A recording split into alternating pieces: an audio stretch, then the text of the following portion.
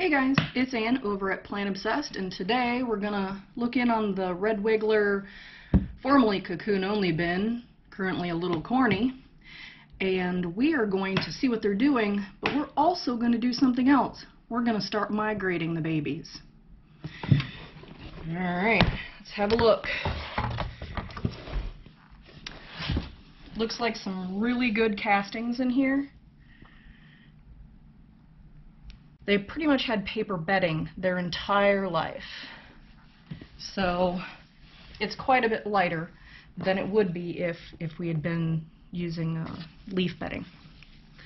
But let's dig around and see if we can find the corn cob, first of all, and see what's going on with that. Looks like they're they're getting into it nicely. I'm just gonna break it a little bit because of the migration. It's gonna need to fit inside the migration area. Alright, and here's their little bag that the cocoons came into. They still like to be in there for some reason every once in a while. So I'm going to take a look, move everybody over, and then we're going to start our migration at this end. So I'm going to take my corn project there, move it off to one side, Looks like they've still got quite a bit of bedding that I gave, gave them last time. It's the colored bedding. You can tell cereal boxes and all the boxes, etc. And it is still very damp in here, which they seem to like. Um, certainly for, there's another piece of the corn. Certainly for, if I was going to harvest this, I would want this a lot drier but since it is such a, you know, since it's a, its own project, I'm not really concerned about harvesting it. Right now I'm just building the population and seeing what they can do. So I'm going to mound everything up on this side for the migration, if I can get it to do it.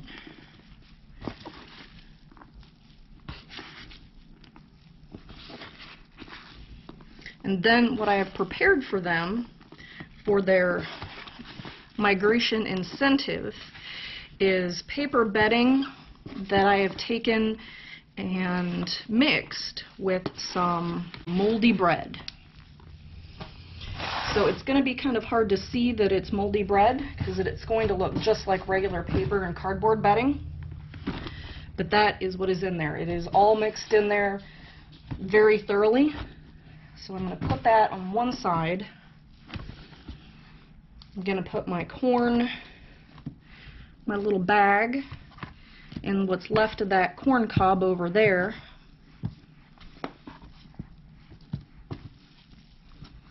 And that. And then I'm just going to kind of put that up to it the best I can. It's not as tall as the other. I'm going to fill that up with just a little bit more.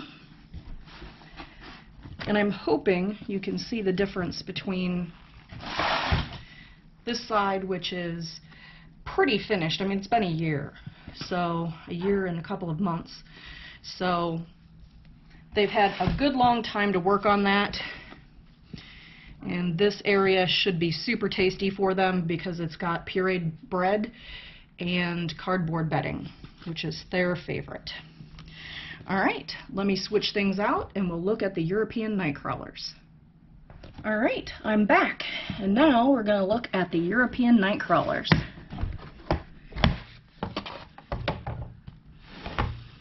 Look at those castings. That is just beautiful. All castings right there on top. And you can see I've got some lovely sized worms in here. Look at this guy. He's getting pretty, pretty, pretty big. I was worried about them for a while. Alright, let's see if we can find the corn cob. If there's anything left.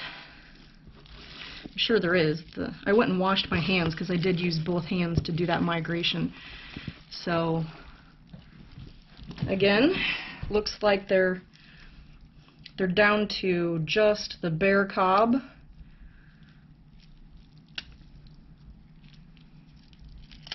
Carefully breaking it. It almost looks like they've hollowed this one out more. I don't know if that's got to do with the corn or the worms. It's hard to tell. I'm going to put that aside. I'm going to try and find their little bag. Because they too had a little bag that I think now is not biodegradable. You can tell sometimes the cardboard that you put in here has tape on it and you don't even realize it.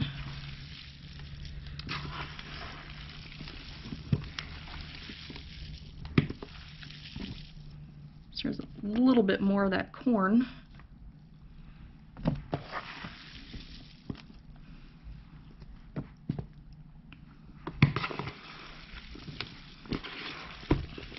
Trying to find that bag.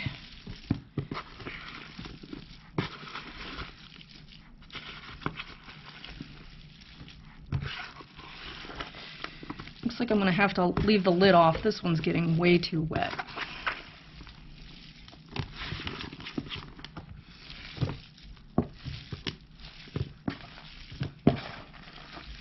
There it is. Wait, there we go. Alright, so we're going to do the same thing. These are definitely getting to be some good sized worms here.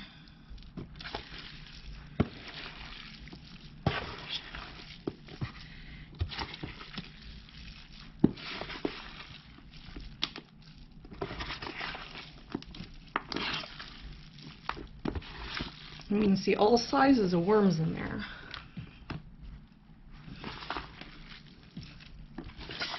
And as wet as this is, I'm not seeing any kind of pest species at all, so I don't know if a bed that is this ridiculously wet just doesn't have any other pest because they can't live in it that wet, or if it's just because I've kept them separate from every other bin.